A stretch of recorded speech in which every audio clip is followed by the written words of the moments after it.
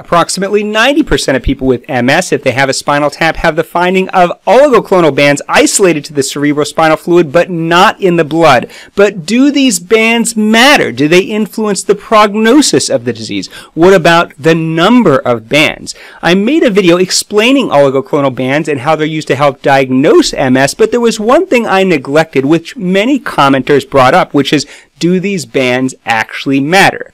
And I decided to do a deep dive and I found six scientific publications that are going to help us to answer this exact question.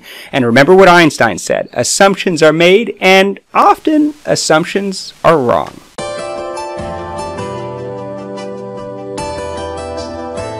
Let's start with a study published in JAMA in 2001. This is a single institution study looking at 1,800 cerebrospinal fluid studies.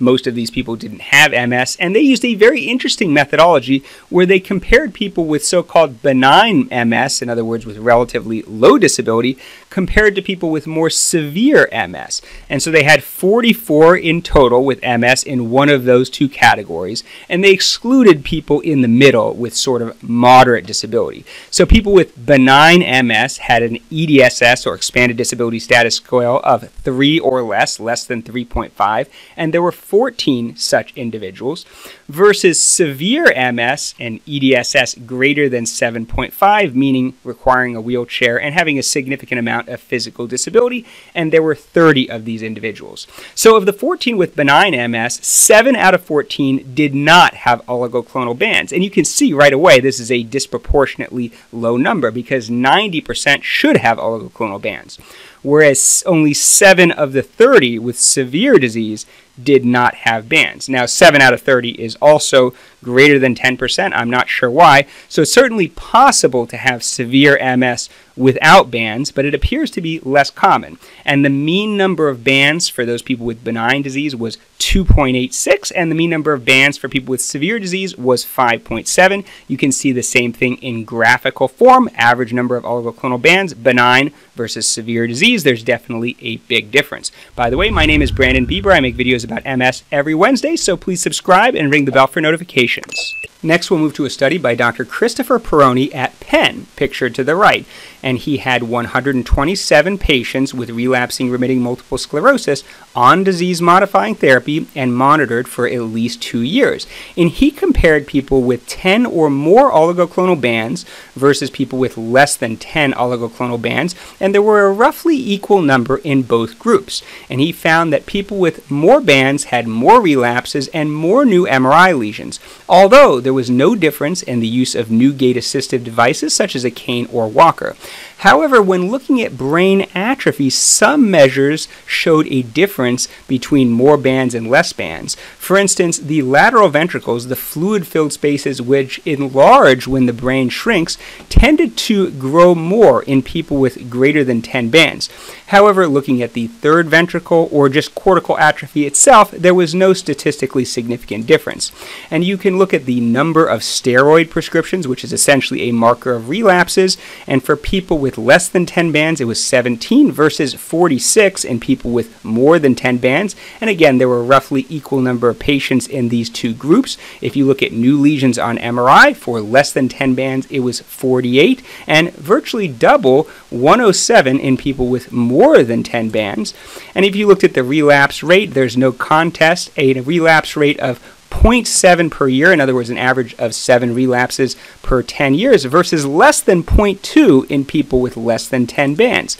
Now, as I said, with brain atrophy, there was no clear statistically significant difference, but if you looked at only accelerated brain atrophy, people who are losing more than 1% of brain volume per year, there was a statistically significant difference with people having more bands more likely to have accelerated brain atrophy, p value of 0.03. Now let's move to the United Kingdom. In this study, only 3% of people with MS did not have oligoclonal bands. I'm not sure why. Maybe they relied on the spinal tap and were skeptical of the diagnosis in anyone who did not have bands. And they also found that the prognosis was better in people without bands, and they estimated a roughly 49% lower risk of requiring a cane. However, they thought diagnosis may not have been 100% accurate in the article. For example, people with negative oligoclonal bands were more likely to have a non-specific MRI or atypical clinical features such as having skin changes, which are not usually associated with MS. So if you look at their data, you can see uh, white is people with, with oligoclonal bands, the dark is people without oligoclonal bands, and some people without bands had a normal MRI scan of the brain, which is really unusual in MS, and many people with negative oligoclonal bands had a non-specific MRI scan of the brain. Many people in the general population, especially those with migraine or vascular risk factors such as diabetes and hypertension, can have non-specific changes in the subcortical white matter, which could be mistaken for demyelinating disease. And can, you can see clearly people who had bands were more likely to have a brain scan judged to be typical of MS. Now, if you look at this survival cord, curve. This is the time until people need a cane to walk 100 meters, in other words, to reach EDSS of 6. And the solid line is people who had bands, and the dotted line is people who did not have bands. And you can see everyone starts off not needing a cane, and then over time, more and more people as they get older are likely to require a cane. And early on, you can see people without bands did quite a bit better, with far fewer requiring a cane, but later on, the lines appear to cross, and it seems seems equivocal. However, it turns out those without bands were a little bit more likely to be older, and adjusting for age, the group without bands had a 49% reduced risk of requiring a cane adjusted for age. So a pretty significant uh, difference, and all the data really goes in the same direction. And next we move to a meta-analysis, a review of 71 articles by some very well-known authors. I give credit to Dr. Ruth Dobson, who's well-known for her content about MS on Twitter, and legendary Professor Gavin Giovannoni of the Barts in London Multiple Sclerosis blog. And they looked at 12,253 people with MS, and 87.7% of them had oligoclonal bands in cerebrospinal fluid. They also looked at 2,685 people with CIS. This is clinically isolated syndrome, people who had a single demyelinating event, such as optic neuritis or transverse myelitis, but did not meet the diagnostic criteria for MS, and 68.6% of these individuals with CIS had bands. And you'll note that this number is a little bit low, lower than the expected roughly 90%. Now, the point is, if you looked at people with MS, those who had bands were roughly twice as likely to have disability progression.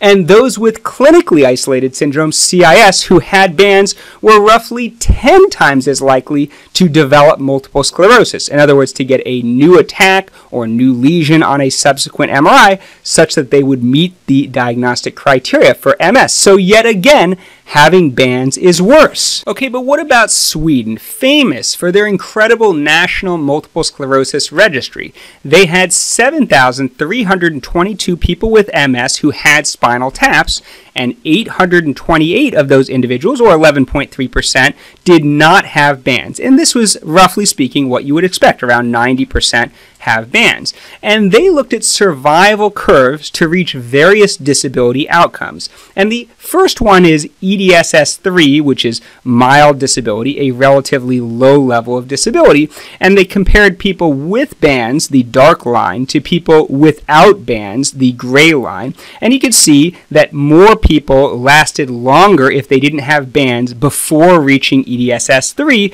so they did somewhat better. And the hazard ratio was 1.29, meaning that if you did have bands, you had a 29% higher chance of getting to EDSS 3.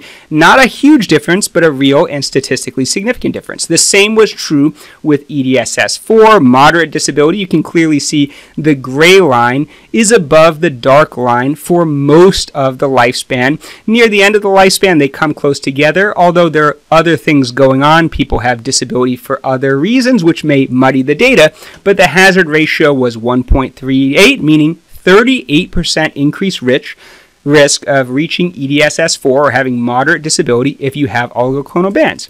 Now, for people requiring a cane to walk 100 meters, EDSS6, you can see the curves separated a little bit but then came back together, and there was no statistically significant difference. There was a hazard ratio of 1.2, in other words, 20% higher risk if you had bands, but no statistically significant difference. The p value was 0.08. They also looked at time to secondary progressive multiple sclerosis, and people with bands were 20% more likely to convert from relapsing remitting multiple sclerosis to secondary progressive multiple sclerosis. So, again, people with bands in the spinal fluid tend to do worse on the average. And this was recapitulated by a case control study from Portugal. So, here they had 196 people with relapsing remitting multiple sclerosis. 176 or 90% had bands, 10% did not, and 62 of the 196, that's 31.6% of them, converted to secondary progressive MS during the duration of the study. 59 of those 62 had bands and only 3 did not. That works out to 33.5% of people with bands develop secondary progressive multiple sclerosis versus only 15% of people without bands. In other words, if you had bands, you had double the risk of developing progressive MS. What about requiring a cane? This is the percentage of people who needed a cane by the end of the study, reaching EDSS of 6. That occurred in 56 people, or 28.5%. 54 of those 56 had bands, and only two did not. That worked out to 31% of people with bands requiring a cane versus 10% who did not. In other words, triple the risk of requiring a cane if you had bands. If you haven't been keeping track, that is six out of six studies, all of them showing an association of worse prognosis with having oligoclonal bands in the cerebrospinal fluid. So even though there's a lot of interest in other prognostic biomarkers in MS, oligoclonal bands in the cerebrospinal fluid may be one of the best ones, even though doing a spinal tap is relatively undesirable. For instance, you've probably heard of serum neurofilament light chain, which is of course a lot easier to obtain just because it's in the blood. Serum neurofilament or neurofilament light chain is a breakdown product product of the central nervous system and is elevated in various central nervous system diseases, but is elevated in multiple sclerosis relapses and it is associated with MS progression. There's also protein chitinase 3 like 1, and looking at oligoclonal bands that are immunoglobulin M instead of all of the bands, specifically the newly formed immunoglobulins, and also protein 1433, which is most associated with prion diseases, but also has some association with multiple sclerosis as well. So what do I think about the data overall and should we use this information to actually change the way that we manage multiple sclerosis? Well, I have to say, given that all of the studies essentially show the same conclusion, I have to admit there is some correlation between presence of bands and the prognosis of multiple sclerosis on the average. But I say that with several caveats. One is that there are a lot of other well known clinical predictors of prognosis that associate with long term prognosis to some extent. For instance, people with progressive multiple sclerosis tend to do worse than people with relapsing onset MS on the average. People whose initial symptoms involve the spinal cord causing weakness or bladder problems tend to, to do worse than people whose first symptoms involve optic neuritis for example, people who have severe relapses and poor recovery or multiple relapses close together early in the disease tend to do worse. And those who acquire moderate disability, EDSS 3 or 4 earlier, are more likely to develop significant disability, say EDSS 6, 6.5, or 7, later in the disease. In other words, developing more disability early on is worse on the average. So it's not like we have to go entirely based on biomarkers. There's a lot of evidence that the prognosis of MS is influenced to some extent by clinical factors, and also it's known that people who have a lot lot of spinal cord lesions and spinal cord atrophy and brain atrophy tend to do worse on the average. The other thing I would mention is that the correlations aren't all that strong in some of the studies. Like in the Swedish registry, there was only a hazard ratio of 1.2, in other words, 20% greater risk of requiring a cane if you had bands compared to if you didn't, and it wasn't even statistically significant. And if you looked at the other markers of moderate disability, there really, really weren't huge hazard ratios. So the risk with bands is probably only a little bit higher than without bands. The other caveat I would make is that Unfortunately, with multiple sclerosis, there's a lot of misdiagnosis. In a study done at Cedar Sinai and UCLA, it's estimated that 17 or 18% of people with MS are actually misdiagnosed and they have something else. I have a separate video on this exact study and topic if you want to take a look. And what's going to tend to happen is people who are misdiagnosed with MS, they're going to be much more likely to have a normal spinal tap without bands, and they're going to end up biasing these studies because those people are much less less likely to have disability later on in life because they don't even have multiple sclerosis in the first place. And so I take these studies with a grain of salt. Now, do I think that explains entirely the differences in data? No, because Otherwise, you'd have to have a huge number of people who are misdiagnosed. But I think it exaggerates the difference between bands and no bands. So, my personal opinion if the diagnosis of multiple sclerosis is clear, let's say from clinical symptoms, exam, and MRI, should you do a spinal tap just to see if you have bands?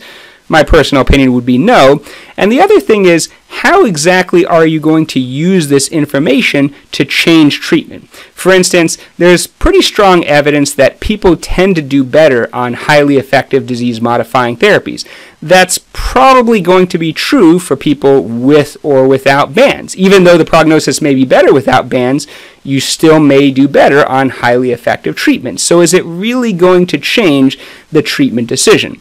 The one exception to this, I would say, is maybe someone who has a questionable diagnosis of multiple sclerosis where it's unclear and they have a spinal tap without bands, maybe a practical approach would be to not use disease modifying therapy and observe until the diagnosis is more clear with follow up exams and MRI scans.